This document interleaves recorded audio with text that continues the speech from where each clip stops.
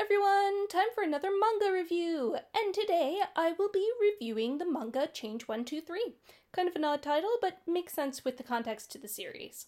The series focuses on, well, I say two people, but really it's five.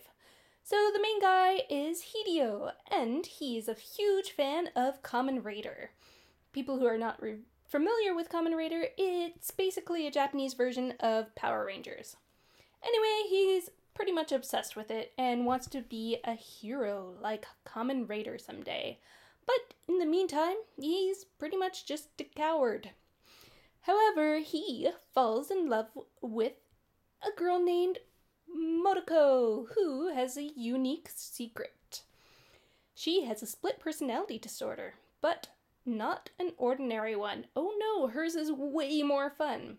She was raised by three different martial artists and their training was so intense that she developed a personality for each type of training. So she has four different personalities her own form, Motoko, and then she refers to the other three as Hifumi. Another fun thing about the personalities is they actually change her appearance due to her using different muscles, and she puts her hair into different styles each time she changes. So, the two people who created this manga are Sakaguchi Iku, who did the story, and Iwasawa Shiuri, who did the art.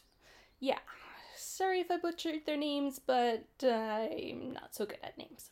Anyway, it's a 60 chapter manga, so it has a decent length to it, but for any of you veteran readers out there, you should probably be able to finish it in a day or two, depending on how much time you have to read. Yeah, yeah, I read it pretty fast. And onto the review. So, I will be breaking the review into three parts the story, the art, and the characters. I will give each section a rating out of 10 and then an overall score out of 10 as well. First off is the story. So, this story follows Motoko and Hideo, who, and of course the Hifumi. So, it's about Hideo learning about the different personalities and coming to like each of them, and them in turn coming to like him. But wait one second, this is not supposed to be a love story. Well, it's not. It, that's just a small part of the story. The m- major part is about an organization that's trying to unlock Hifumi's true power. So it's pretty much like any villain from an RPG. They just send wave after wave of increasingly strong opponents to fight against her and make her stronger. However, in their defense, that is kind of what they want, so it's not overly stupid of them. The story is pretty good, but I found a few parts either to drag on or I was like, uh, wait, wait, what just happened? How, who, how are you? And who are you and why is everyone acting like you have been a main character since the first chapter? Anyway, a few flaws I personally had with that, so I'm gonna give the story a 7 out of 10. So, moving on to the art of the series, it's quite excellent. The character designs are fantastic, and the sense of movement in the art are great. The artists seem to be quite familiar with martial art stances, and movements, which all show through in his art. Backgrounds are fairly basic, but I'm glad that they were done this way. It allowed for greater focus on the characters. So, yeah, art wise, I would rate this series a 9 out of 10. Finally, we come to the characters. There are many characters in this series, but I'm going to go over the mains. So, first off, we have Hideo, a weakling who wants to be strong and able to protect those he cares about, just like his hero, Kamen Rider. So, normally, I don't like weak characters as they just tend to whine a lot, but Hideo has his moments. When he sees injustice happening, his Kamen Rider spirit bursts out and he puts himself at risk to save others.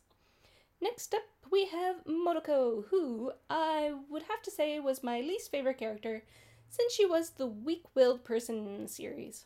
She didn't want to deal with anything and complained about her problems a lot, just a personal preference, and I'm not really a fan of that kind of character. Finally, we have the Hifumi. The reason she's called Hifumi is because of the names of her different personality. First off, the he in Hifumi is for Hibiki, who is represented by the color red.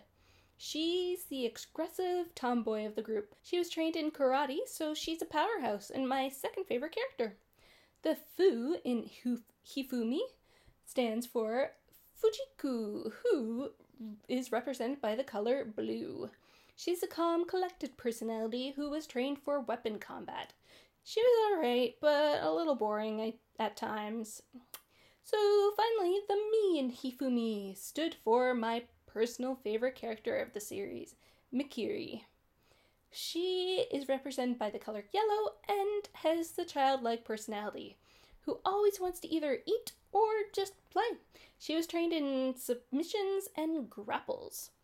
Overall, I would rate the characters of the series an 8 out of 10. So, Change 123, a great read if you're looking for some action and some comedy. I would also like to throw out a mature audience warning on the series since the girls' clothings tend to rip off a little bit. Just a little bit.